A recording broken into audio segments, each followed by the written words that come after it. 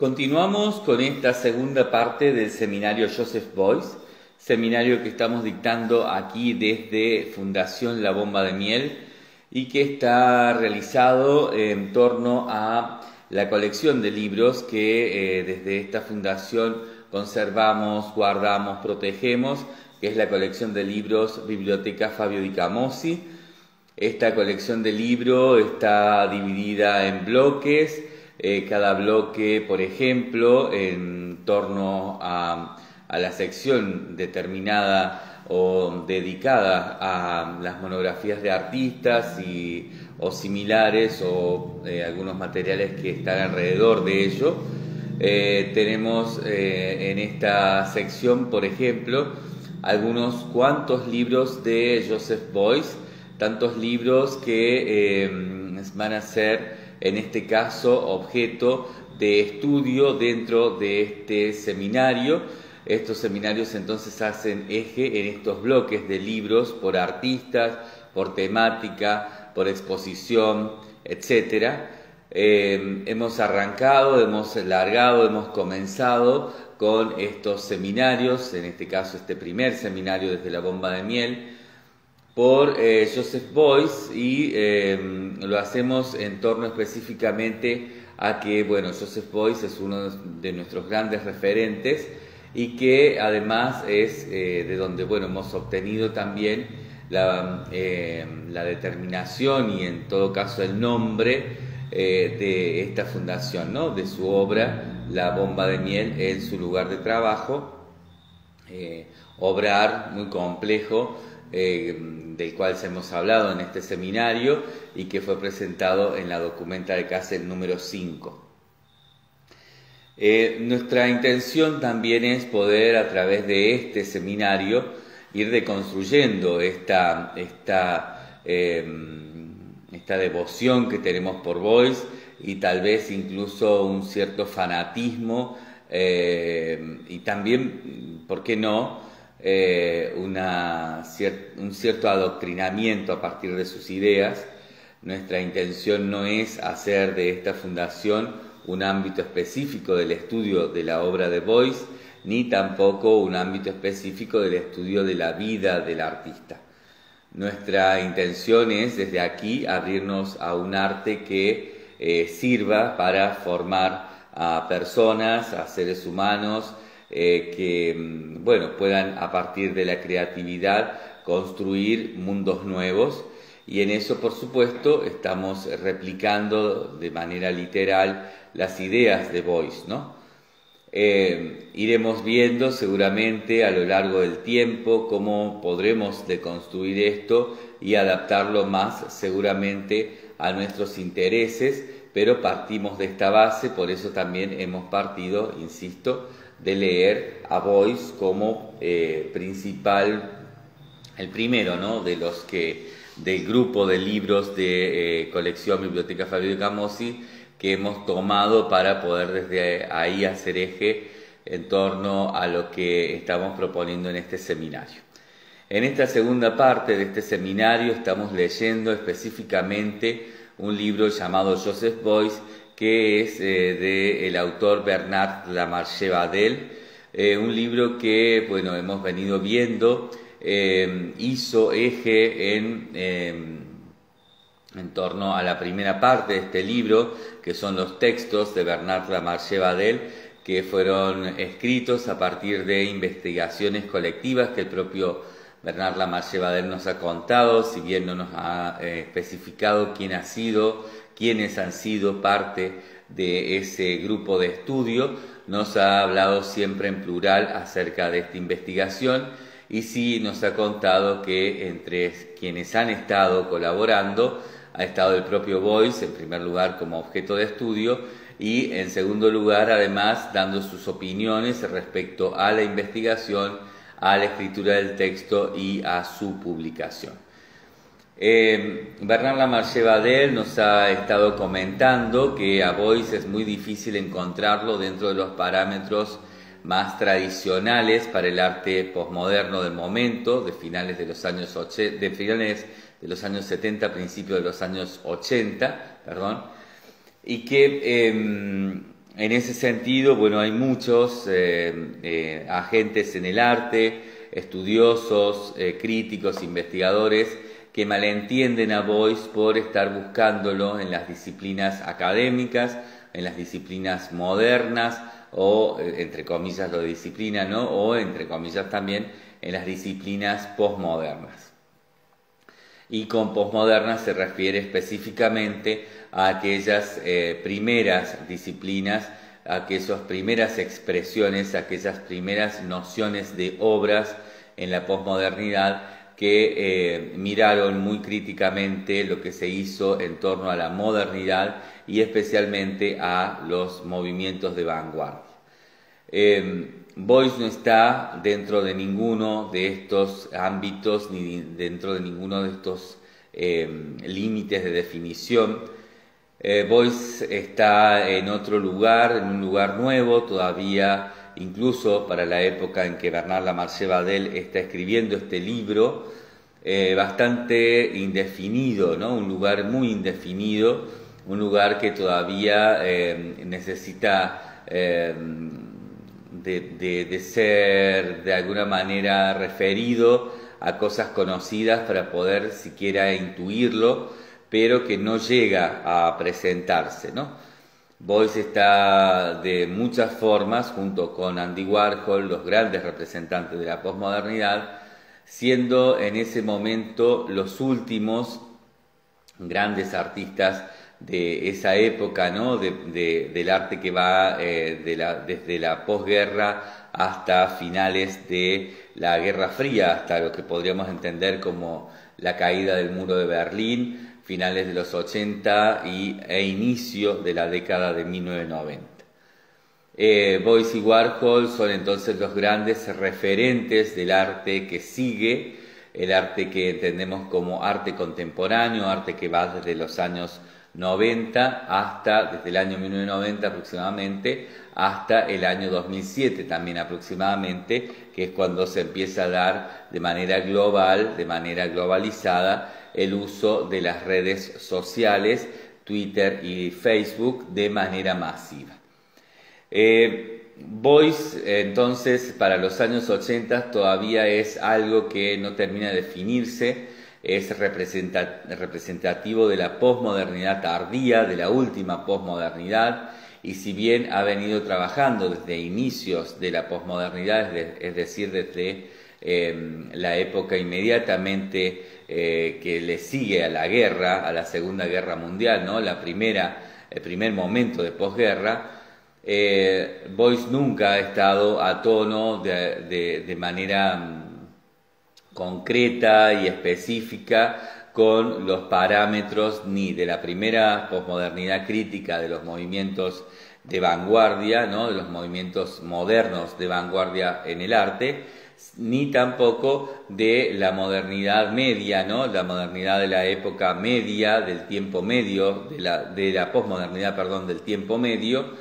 Em, en el que, bueno, ya eso empieza a estar en crisis y esa crisis empieza a generar una vuelta sobre ciertos establecidos académicos, ciertas ciertos tradicionalismos e incluso podríamos decir ah, deviene en un enorme modo conservador en donde se define todo como obra y todo se define en torno al objeto posible de comerciar y que empieza a ser además em, definido por la crítica, la crítica de arte que es, funcional a todo tipo de mercados, mercados institucionales, mercados privados, eh, en torno a la venta, a la compra eh, y al intercambio de, tipos de valores, ¿no? al, al, inicio de lo que entendemos hoy como mercado del arte. Boyce no es parte de ninguna de estas dos primeras etapas de la posmodernidad, es decir, ni de la etapa crítica de, la posmodernidad que critica a la modernidad, no que ve críticamente a la modernidad de las vanguardias, ni tampoco de esta posmodernidad del momento medio, ¿no? de, su, momento de pico y también inicio de la decadencia, donde el arte es absolutamente funcional a lo que empieza a llamarse, a denominarse mercado del arte. Eh, Boyce está de una manera muy transversal eh, negociando con todo esto, es, decir, muchas veces se lo puede encontrar ligado a este primer movimiento eh, de análisis crítico sobre las vanguardias del arte moderno y muchas veces también se lo puede ver ligado a estos eh, tipos de artistas que producen obras en torno a objetos eh, comerciales, comerciables dentro de los nuevos mercados de arte. No obstante, Boyce está yendo por otro camino, un camino que está transversal a todo esto y que em, pocas veces se puede comprender realmente hasta, diría yo, que finales de la posmodernidad, es decir, casi em, ya una vez en el límite ¿no? de vida barra muerte Boyce que se dio en el, en el arte, ¿no? que se dio en la vida de Boyce en el año 86 este libro de Bernard Lamarche Badel fue publicado en el año 84, es decir, eh, eh, justamente ahí, ¿no? unos dos años antes de la muerte de Boyce, y justamente en ese límite ya ¿no? de, del cierre de la vida y del arte de Boyce y de su muerte. Una muerte que, como decíamos también en audios anteriores, no, no termina con, con, la vida de Boyce, sino que termina mucho después, ¿no? Una muerte activa que va a estar eh, produciendo cosas eh, por muchos años después de que Boyce ya eh, no se encontrará aquí en esta tierra. ¿no? Boyce siempre trabajó con la energía, Boyce siempre trabajó de una manera que no necesariamente tenía que ver con lo objetual en términos de obra y si bien se puede comprender con mucha más claridad que trabajó con un obrar de artista, ¿no? como lo hemos visto eh, muy bien desarrollado por Heiner Stackelhaus en la primera parte de este seminario, en su libro eh, eh, Joseph Beuys, ¿no? que es una biografía publicada acerca de Joseph Beuys un año después de su muerte. Heiner Stackelhaus nos ha comentado ¿no? en ese libro en el que hicimos eje para la primera parte de este seminario, muchas cosas muy relativas y muy concretas a esta noción ¿no? de obrar en, esta vida igual obra, o, eh, vida igual arte, arte igual vida, eh, que, que, sucedía en Boyce, ¿no? que sucedía con Boyce. Eh, Bernard Lamarche Badel entonces nos dice que cualquier cosa que estemos buscando por fuera de toda esta complejidad no es Joseph Boyce, no es la obra, el obrar, o lo que se quiera comprender dentro de eh, la producción de Joseph Boyce. En tanto, ni siquiera habla de producción, sino que eh, nos dice que Boyce es, es un, artista que no está dentro de los sistemas del arte, por lo tanto no entra dentro de estas variables, por lo tanto es muy, es muy poco posible de establecer dentro de estos estereotipos porque eh, el mismo Boyce nunca así lo quiso, ¿no? Boyce no estaba interesado en el sistema, Boyce estaba interesado en algo que iba del lado de la problemática, ¿no? A Boyce no le interesaban los sistemas de arte, sino le interesaban las problemáticas de arte y eh, Boyce, o las problemáticas disciplinales, para decirlo mejor, y Boyce estaba en, en ese interés abocado muy concretamente a desarrollar eso, ¿no? problemáticas y no a eh, aportar, establecer o eh, de alguna manera ser funcional a sistemas del arte. Todo lo que desde el sistema del arte busque sistema en Voice eh, no, no, encuentra más que esa, esa respuesta de Voice, ¿no? que nos dice aquí Bernard Lamarche de una manera muy clara. Cuando uno a Voice le pide o busca en el sistema, lo que Boyce nos devuelve, nos da o uno encuentra es problemática. Y la problemática está fuera del sistema en un sentido eh, muy literal a lo que eh, Bernard Lamarche Badel se va a referir específicamente en este libro para poder aclararnos por qué desde su posición la problemática eh, de Boyce, ¿no? la problemática en artes que Boyce lleva adelante, está fuera del sistema, ¿no? está fuera del sistema del arte del cual Bernard Lamarche Lamarche, perdón, es un exponente fundamental en esa época, ¿no? los años 80, un, exponente del sistema del arte internacional, eh, específicamente eh, afincado, digamos, específicamente dado en su caso desde París, desde una de las capitales del arte del mundo, del arte posmoderno de ese momento, y que es una autoridad en estos asuntos desde el lugar sistémico, ¿no? Es una autoridad del sistema, es una autoridad del sistema del arte.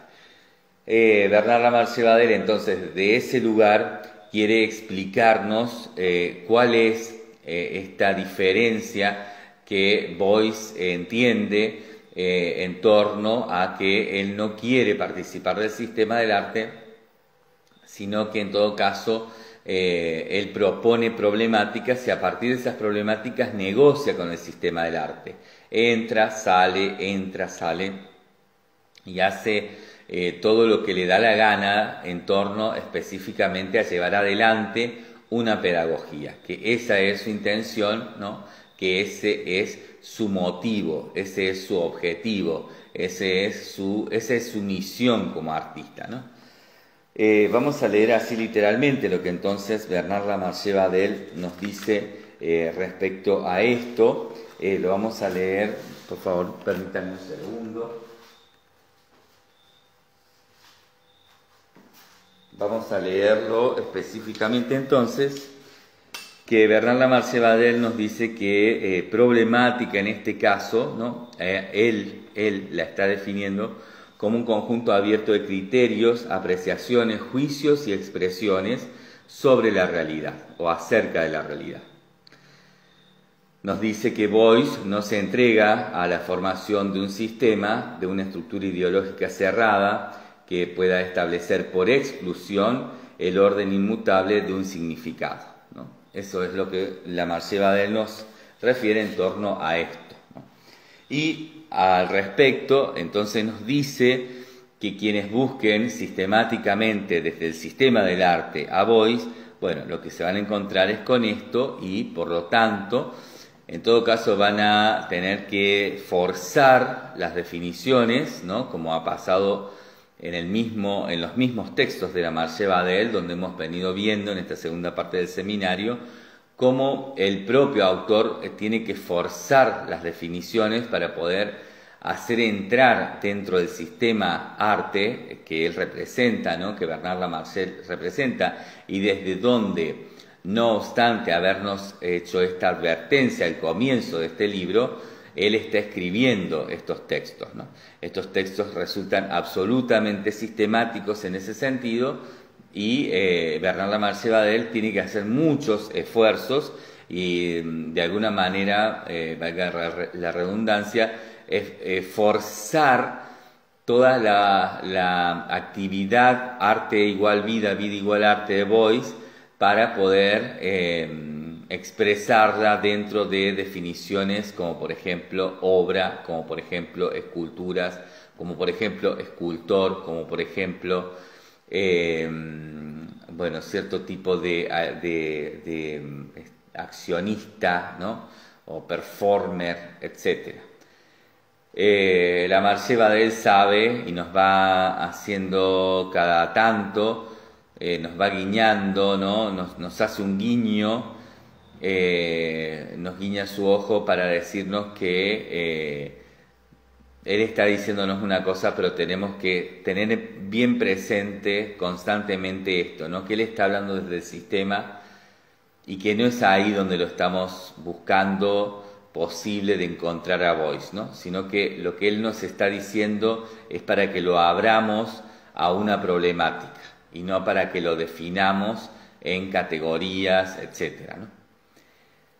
Eh, en ese sentido, bueno, la Marche Badel escribió un texto realmente complejo, un texto que va y viene sobre sus propias contradicciones, pero que tiene un cierre en el capítulo anterior, eh, un capítulo que eh, realmente es, creo yo, un texto brillante, ¿no? Un texto muy, muy, este, muy, muy bien escrito a la hora de las ideas que la Marcela Badel quería evidentemente expresar, ¿no?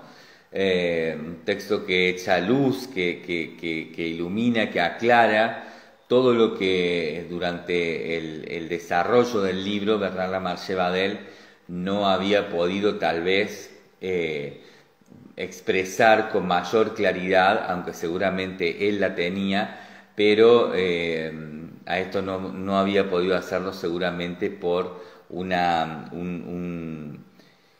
una actitud de vida con su propia disciplina, la crítica de arte.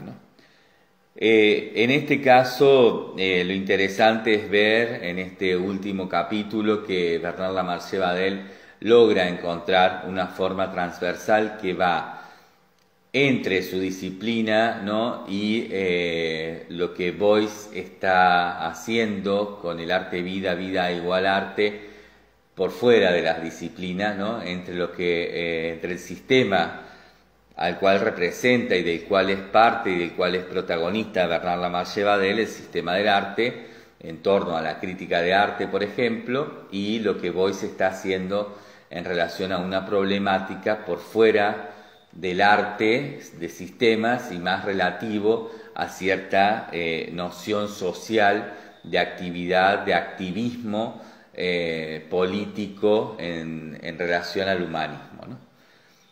Boyce está muy por fuera del arte en ese sentido, en torno a lo disciplinal, académico, sistémico, ¿no? Pero es evidente, como nos dice Bernard Lamarche Badel, que no hay forma de dejarlo fuera del arte, porque Boyce es tal vez el artista más importante de, la posmodernidad, ¿no?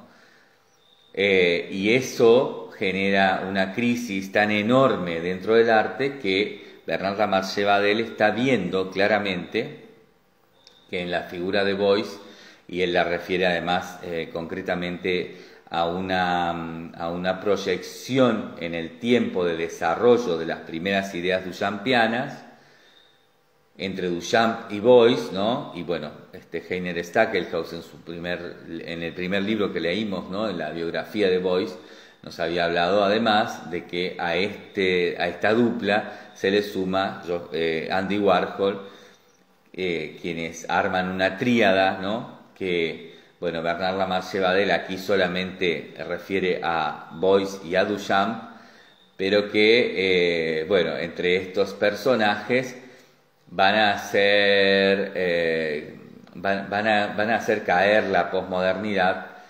Duchamp hizo de alguna manera caer la modernidad, Warhol y Boyce van a hacer caer la posmodernidad en una crisis interna que se va a dar no solamente en la producción de arte, sino también en la producción de teoría, en la producción de historia del arte, en la producción de sistema y sobre todo en la primera producción de mercados de arte y que eh, en eso, en esta crisis, va a aparecer algo nuevo que Bernard Lamarche Badel ya sabe que va a suceder, aunque todavía no tienen, ¿no? No, no, conocen el nombre, ni mucho menos cómo históricamente esto se iba a definir, que finalmente se, se definió como arte contemporáneo, el arte que viene entonces después de Boyce, después de Warhol, y que es un arte que empieza con la década de los 90, con el fin de las guerras frías, y que se extiende hasta el inicio de las, las redes sociales, ¿no? hasta, hasta el inicio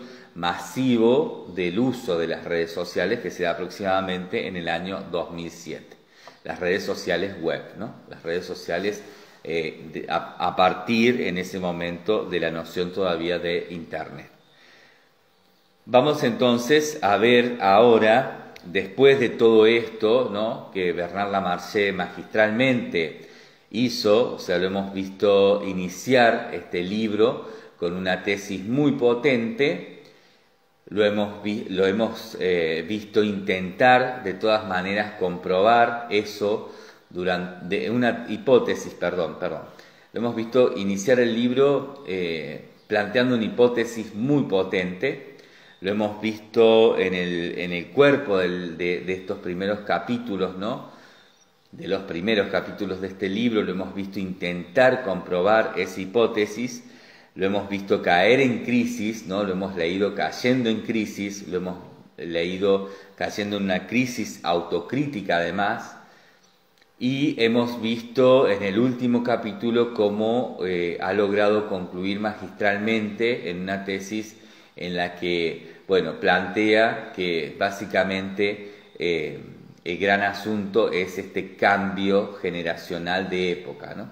Y que Boyce no, no, no tiene posibilidades en ese momento al menos realmente de ser aún determinado dentro del arte en torno a lo que se conocía, a las plataformas, a las estructuras, a, los modos, incluso podríamos llamar a los nombrar a los estilos o eh, a los géneros y demás, ¿no? conocidos hasta ese momento.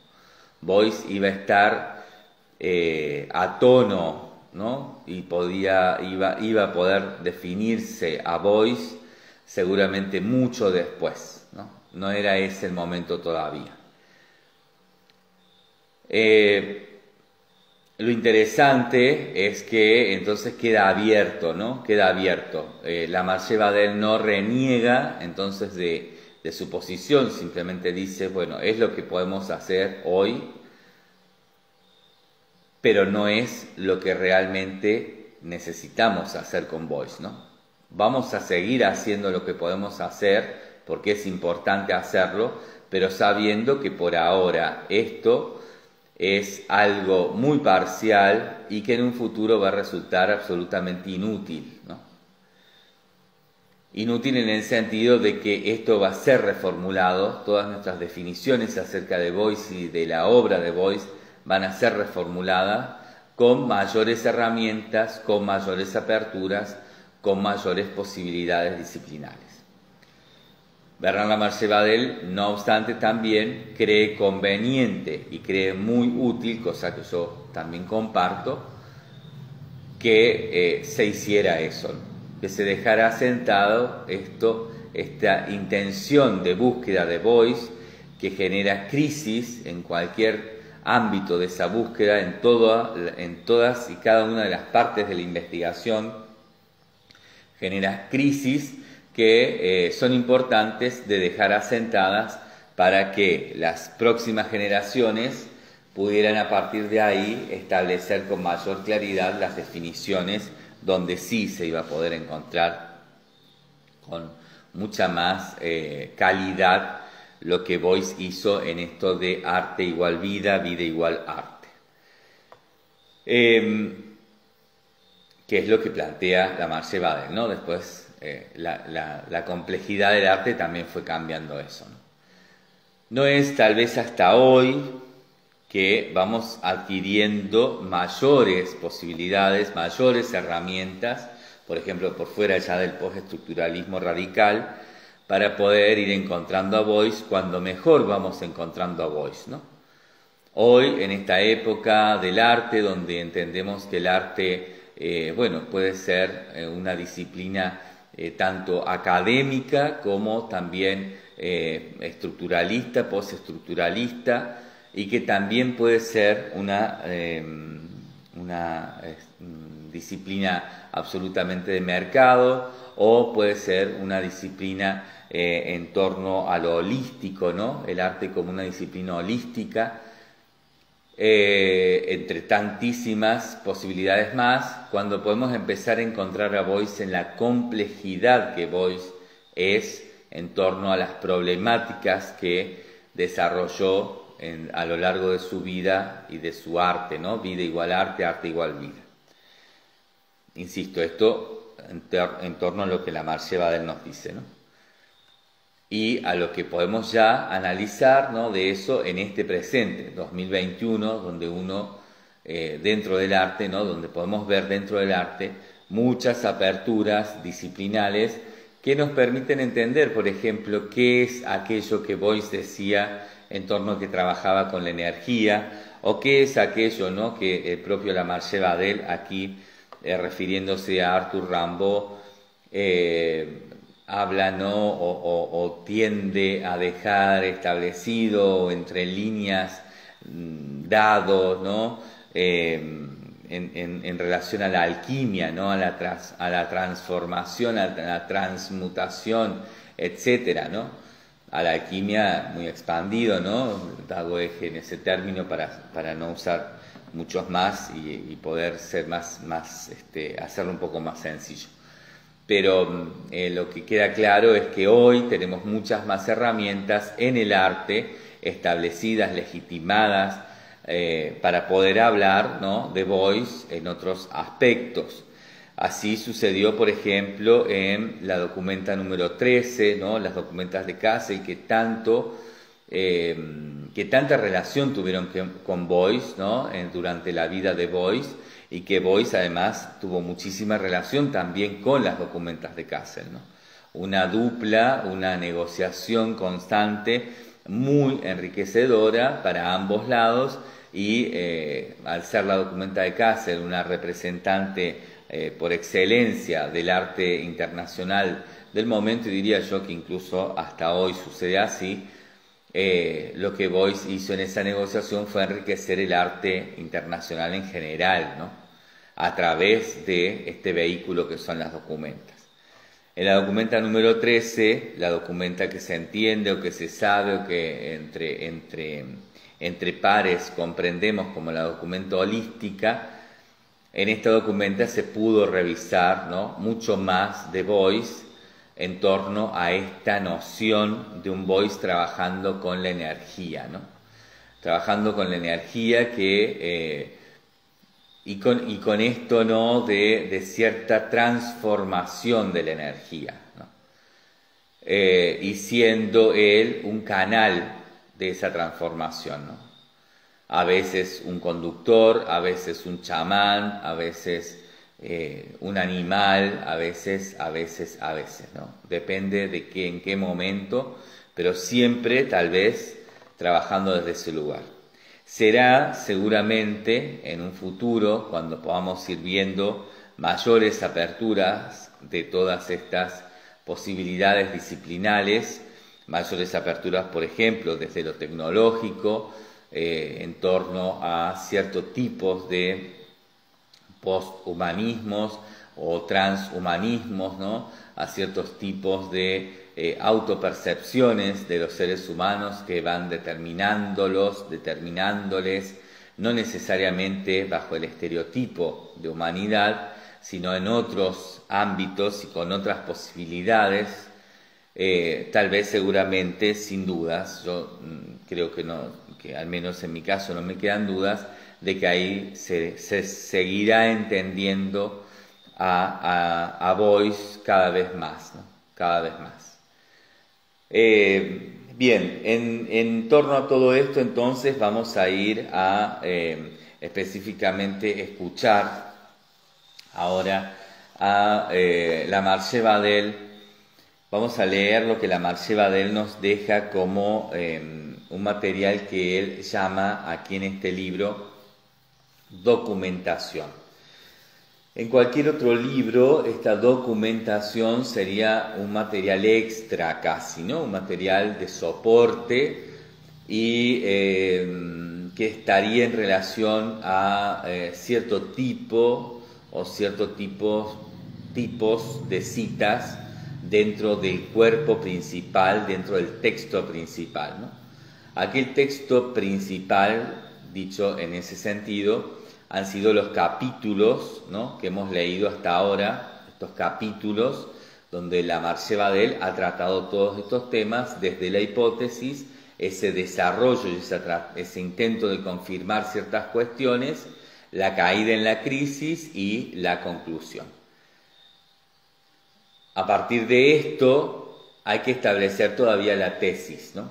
La tesis se establece a partir de esto más toda esta documentación, que en este caso la Marce Badel va a trabajar de un modo sin jerarquía, ¿no? sin jerarquía académica, también casi como una excusa de diseño editorial, es decir, la Marce Badel no va a explicar por qué en este libro eh, la mitad del libro, ¿no? la mitad de, páginas de este libro están dedicadas a sus textos, a los que hemos leído, y la mitad del libro exactamente, ¿no? la segunda mitad del libro está dedicada a la documentación. Y esta documentación no tiene, además, eh, los típicos tips que la hacen menor sobre o, o un complemento del texto cuerpo fuerte del libro.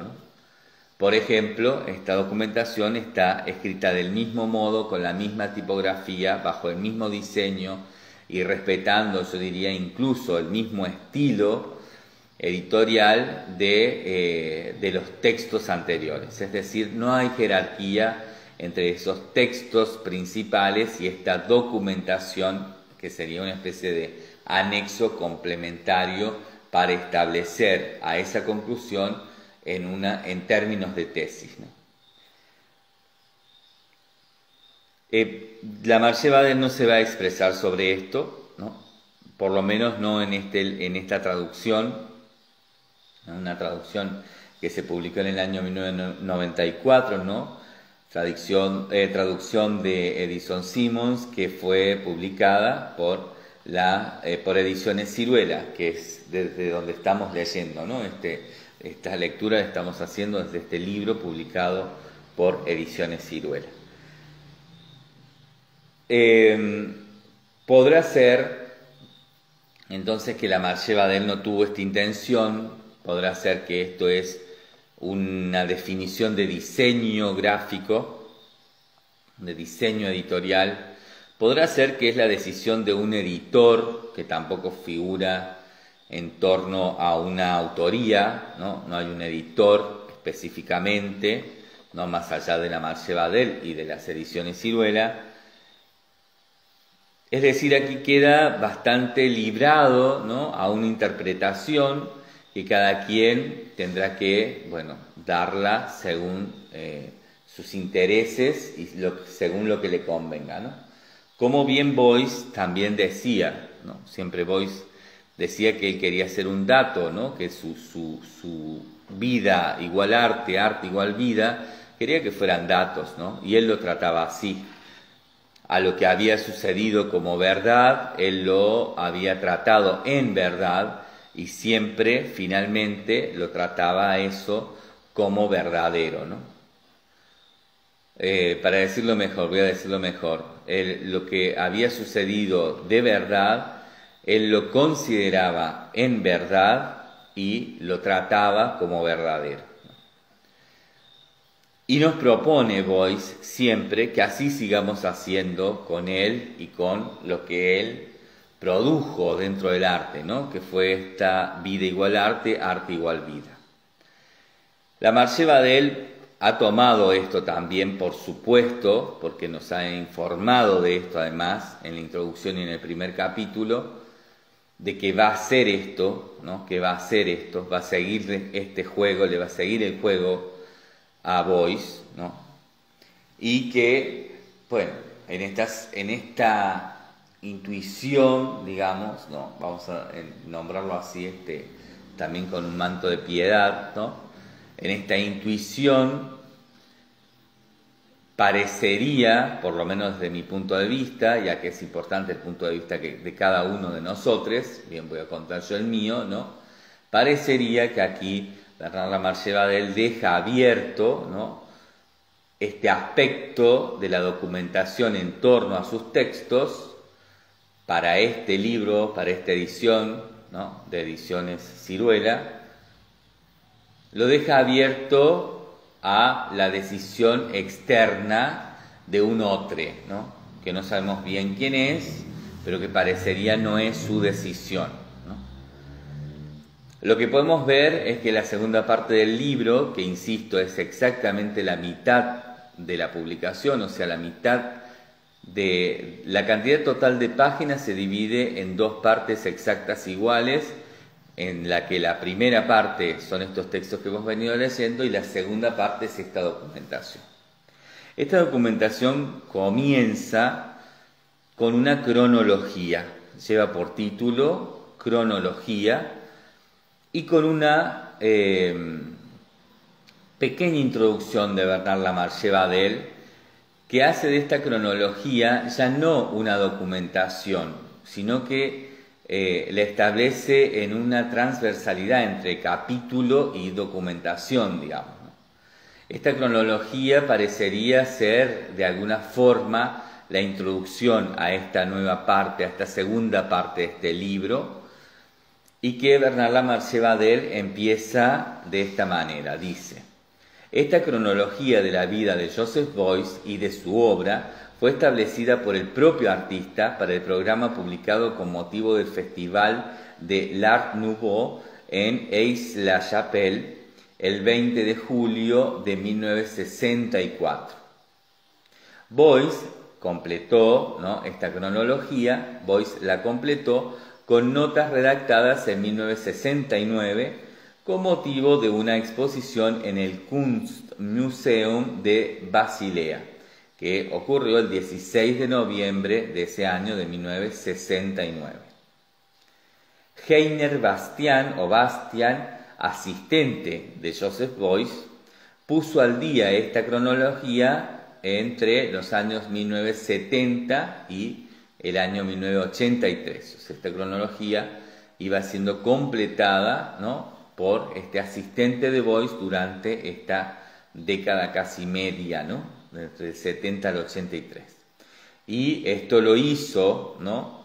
lo fue haciendo en, eh, en torno, digamos, a distintas exposiciones y específicamente Bernarda Marcebadel dice aquí que lo hace en torno al, catálogo de exposición itinerante en Europa de los dibujos de Boyce, que se da en el año más o menos 83.